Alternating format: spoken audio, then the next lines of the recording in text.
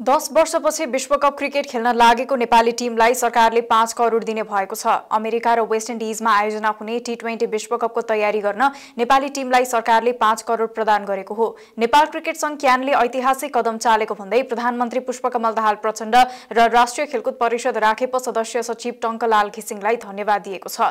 संयुक्त राज्य अमेरिका र वेस्ट इन्डिजमा आयोजना हुने आउँदो टी ट्वेन्टी विश्वकप दुई हजार चौबिसमा नेपाली राष्ट्रिय क्रिकेट टोलीको सहभागिताको तयारीका लागि नेपाल सरकारबाट अक्षय रूपी रुपियाँ पाँच करोड तयारी बजेट विनियोजन भएको छ।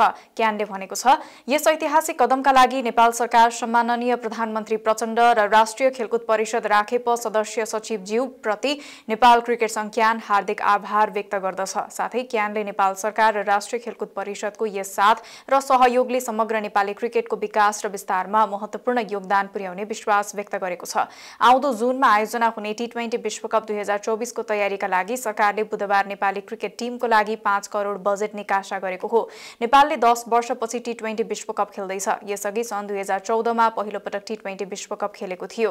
आइसिसी टी ट्वेन्टी विश्वकप क्रिकेट प्रतियोगिताको नवौं संस्करण आगामी जुन एकदेखि उन्तिस तारिकसम्म अमेरिका र वेस्ट इन्डिजमा आयोजना हुँदैछ। यो विश्वकपमा नेपाल दस वर्षपछि सहभागी हुँदैछ। विश्वकपमा नेपालको पहिलो खेल नेदरल्यान्डसँग जुन चारमा हुनेछ।